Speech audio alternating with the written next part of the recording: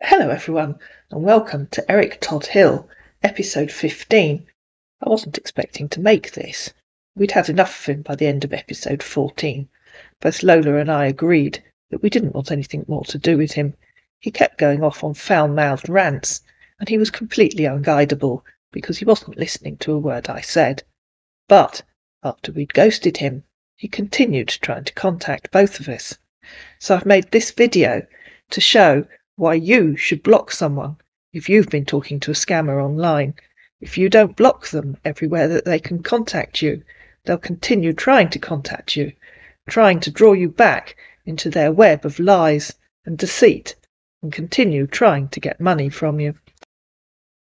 After the last call on Skype, which was on the 3rd of February, our man texted Cassandra. How you doing, beautiful Cassandra? he said. The following day, he texted her again. Good morning, dear. How was your night? Hope you slept well. Tried again the next day. Good morning, dear. It's obvious you don't want to respond to me. The love I have for you is real from my heart. Zzz. It's obvious you never realise it. Following day, he tried calling her. He tried calling her again the next day. Give me a call when you're back. Then he missed a day. He tried again on the 9th of February. Still very much love you, he said. Meanwhile, back on Facebook, on the 5th of February, he set up a new account and sent Cassandra a friend request. I accepted it because I didn't immediately realise it was the same person. I just thought lots of different people were using the same name. I thought maybe I'd have a bit of fun by telling this one that I'd just been talking to him. But no, I accepted the friend request and I get, Hello, honey. Why are you not responding to my text on Skype? What's going on with you, my love? Of course, I blocked him, as you can see if you're looking at the screen. But that man hopped back on his original account on Facebook. If you're looking at the screen, Saturday on the screen it's the 10th of February. Hello, honey. How are you doing today, my love? I've really missed you so much, honey. Where have you been for weeks now? I can't stay a minute without you talking to me. If there's anything that I've done that makes you to stop talking to me, honey, please do forgive me, my love. I still love you so much, and I will always do. No matter, I still want you in my life, and nothing on this earth can stop that you're more than anything to me, honey. Your beautiful smile gives me joy and happiness. My love, please come back to me. I can't leave without without you, my love. Lots of hearts. I'm very sorry for whatever thing that happened weeks back, my love, and I do promise to pay for whatever damage I've cost, my love. I want you in my life today, tomorrow, forever. My love, I hope you find a place in your heart to forgive me. Lots of hearts and kisses. Honey, Please message me on Skype. Now let's talk things out, my love. I still do need you in my life. I know that you're still angry about what happened weeks back, my love. For you is nothing real. Nothing can come between us. Even the devil cannot come between us because you have a special place in my heart. Honey, talk to me. Why are you keeping me silent? Even if you don't want me any more, you could at least say goodbye to me. I pray you find someone who will give you happiness and joy more than I do. Have a nice day. Even if you don't want me, or you don't want to have anything to do with me any more, your happiness means a lot to me, and I will keep on praying that you find the one that can make you happy and smile forever. He went quiet for a few days. Hello, honey. Please talk to me. And then, over on Lola's Facebook account, she sent Annie these two recordings. Hello, Lola, can you hear me? Yes, I can. What is it?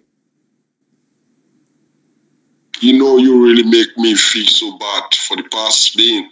I have not been myself. I'm so worried and I'm so just thinking. I don't know.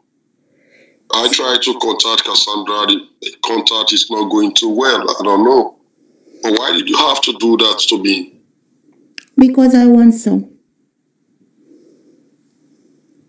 But I really love her so much. I know you have the power, the opportunity to do anything possible for me. But why are you why are you so in the in the haze of hating? Like you don't just like me, you hate me or what? Yeah. You hate me? Yeah. Do I look like a bad person? Yeah. But I'm I'm not I'm never a bad person.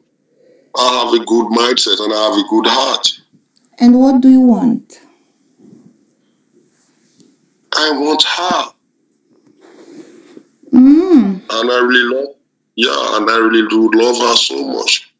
It's not all about the money aspect, okay? You need my approval for that.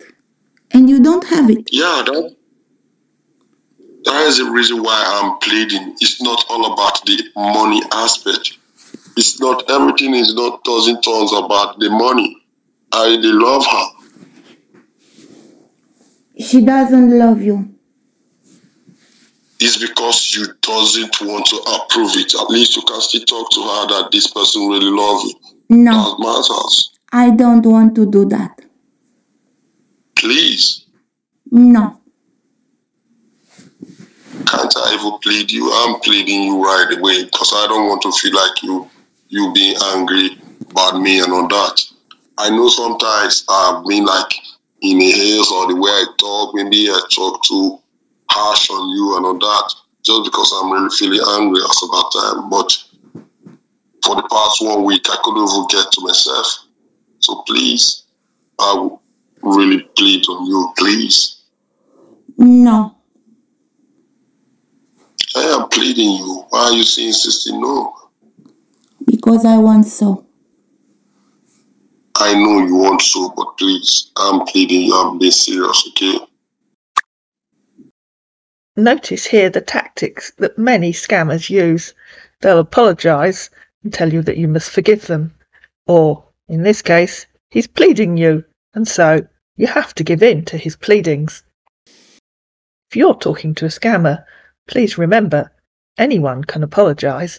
You don't have to forgive them, and it doesn't mean that they're going to change their ways.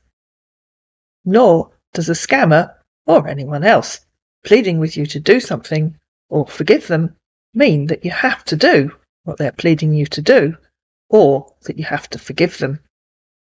And if the person that you're talking to online tells you that the fact that they've apologised means that you should forgive them, ask yourself, who are you talking to? And why are they so adamant that you need to forgive them? Lola tried to get our man to answer a video call. What? Pick the video call. Let's talk on a video call. But this is not in my own constitution. I told you about security rights there.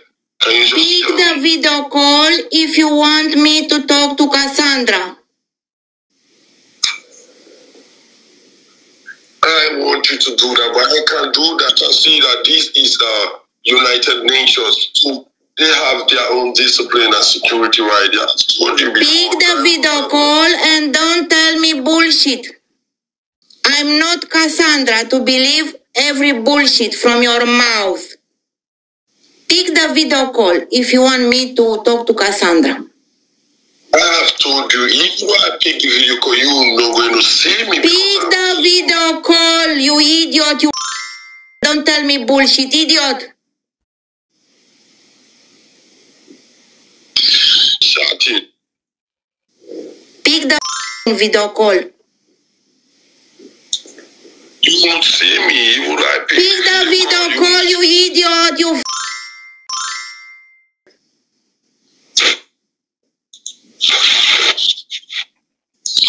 Stop that. Why are you why are you so bully like this? I don't know. Why?